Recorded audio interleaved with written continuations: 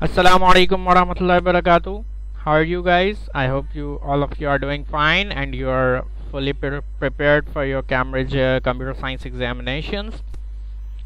Uh, only a few days left, so good luck to you guys. Anyway, so I've uh, derived another question. This is this was one of the past paper questions of uh, 2022. I've uh, remolded it uh, into a 15 mark scenario based question just for your practice so let's get down to it. An organization has a visitor car park with 20 car parking spaces numbered 1 to 20 write and test a program for the visitor car parking booking system to work for a specific period of two weeks including appropriate prompts for the entry of data. All vari uh, data must be validated on entry. All variables constant and others ide other identifiers must be meaningful uh, your code should be fully commented. The data structure you choose should be sufficient enough to store data for each of the 20 parking spaces for a static period of 2 weeks. Allow visitor to request a parking space on any day within the 2 days 2 weeks period by entering a number between 1 and 14 inclusive. The system will check that there are spaces available on the day and if so will ask visitor to enter their car license number. This data will be stored in the data structures representing the first available parking space for the day requested. The visitor will be told the number of their parking space. At the end of the two days period, allow all of the data to be deleted ready for the next two weeks period. So first of all, uh, it has our data structure uh, that would store the values should have enough capacity to store 20 mm, uh, you can say values for a period of 14 days. That means it should look something like a table with uh, 20 rows and 14 columns. Something like this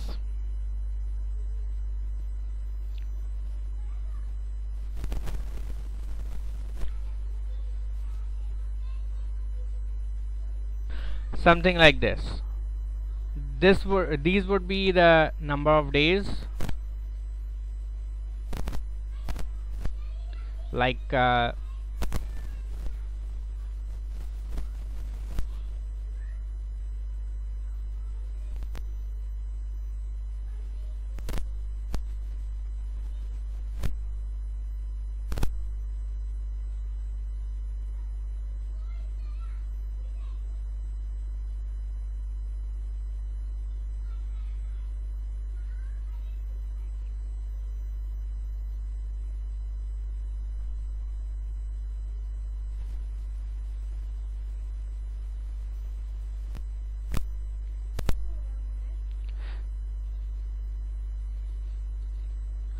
like uh,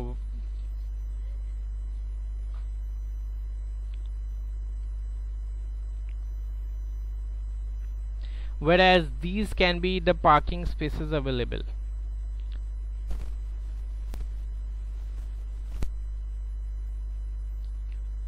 From 1 till 20 1 2 3 4 5 6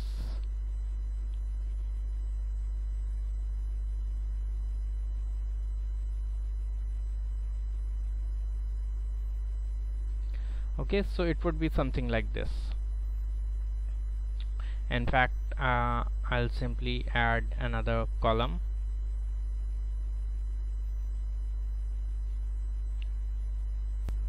Okay so here is what your data structure should look like.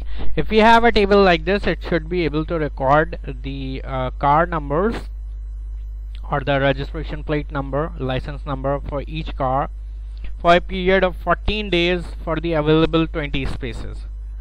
So let's suppose uh, you want to book um, your uh, space on the day number 4th then you should be able to enter this 4 as your chosen day number and then the system should check that out of these 20 spaces which one is empty.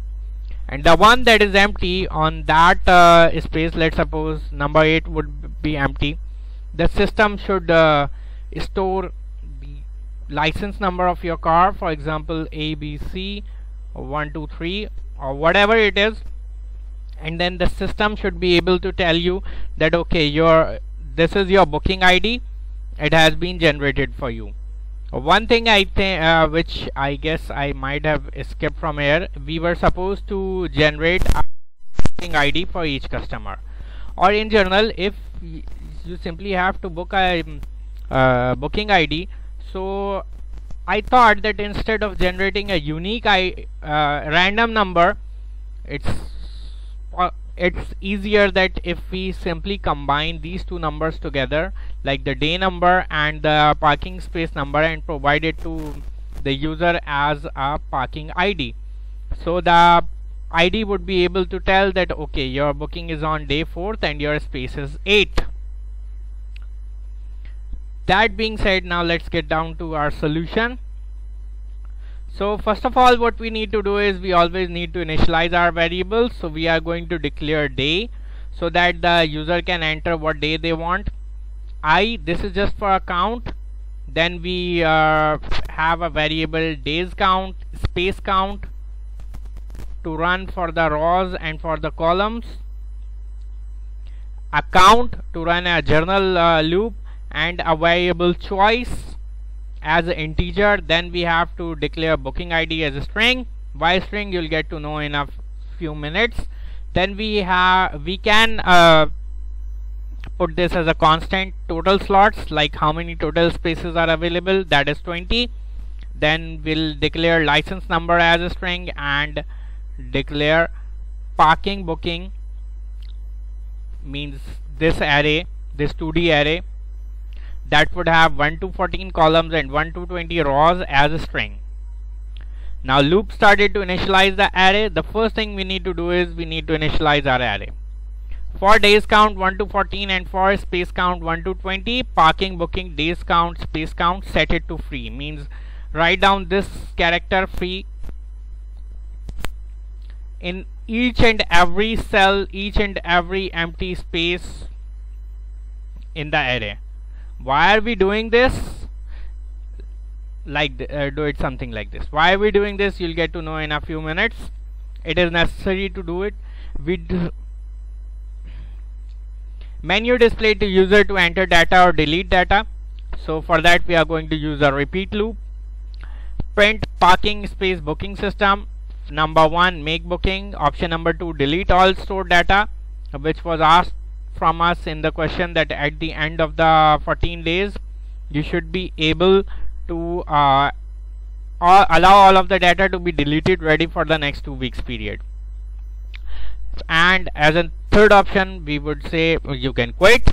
Then we have asked the user to enter your choice that you want to make a booking you want to delete all stored data or you want to exit. If choice equals to 1 then what to do? Repeat. User is asked to input desired day for booking so the user can input day number from 1 to 14 and we validated it because we were asked in the question to validate all data on entry. Checking if on chosen and now once we have validated it that the day number must be from 1 till 14 we are going to check if on chosen day a space is free. So we are going to run a loop and we are going to check that for the day chosen means for the column chosen let's suppose the user enter number 6 now let's suppose already 7 bookings have been done.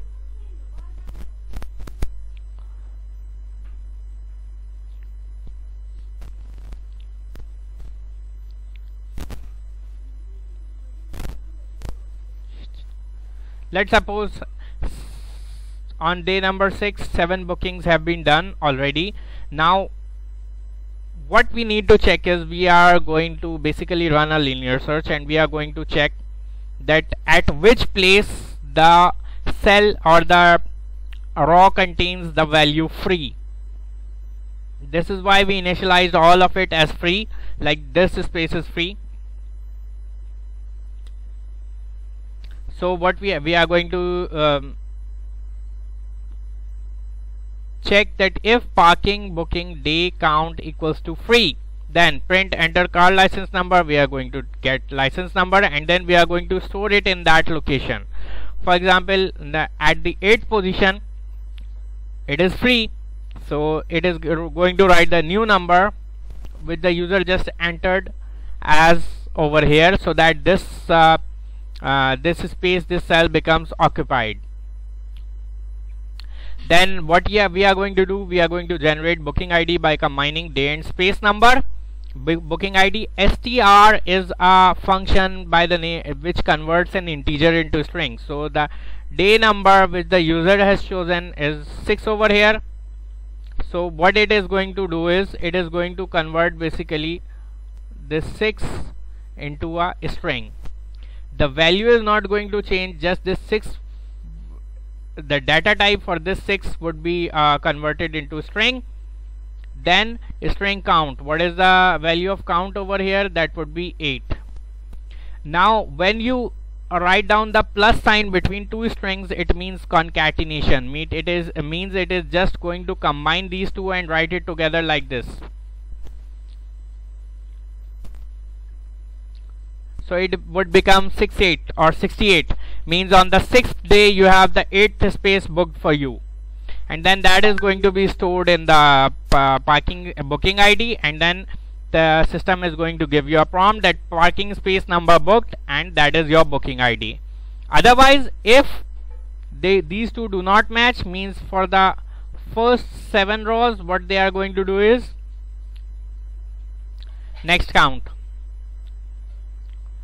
And if and if you have done this then until count equals to total slots or for further uh, like uh, to make your loop better what you can do is you can also write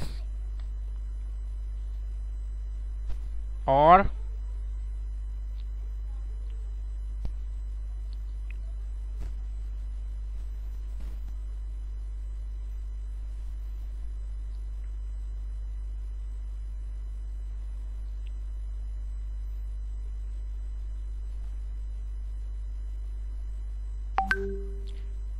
you can write this but it's better if you don't.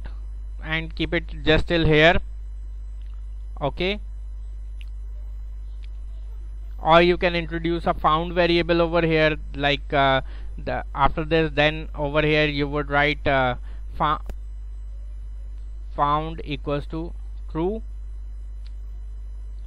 You can um, initialize a found variable over here with a boolean data type and then you can write or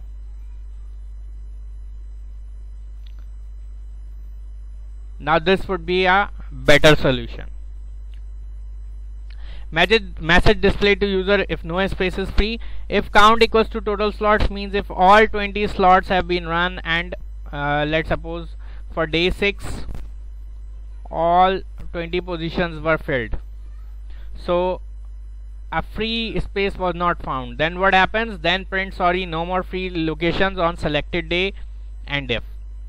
Else if choice is equals to 2 like uh, when the main menu was displayed the user chose number 2 then what to do? Code to delete all data already stored. For days count 1 to 14 and for space count 1 to 20 what we are simply going to do? We are going to set all the uh, members of this 2d array as free which we had already done in the beginning as well in order to initialize it for the first time. And if the choice is 3 then simply exit. Means until choice is equals to 3 means whenever the user enters 3 simply end the loop and close the program. So this is the solution. This is a sample question and this is a sample solution. I hope you have understood everything. If you have any problems please do comment below and let me know. I'll reply to them. Tell your friends about it as well.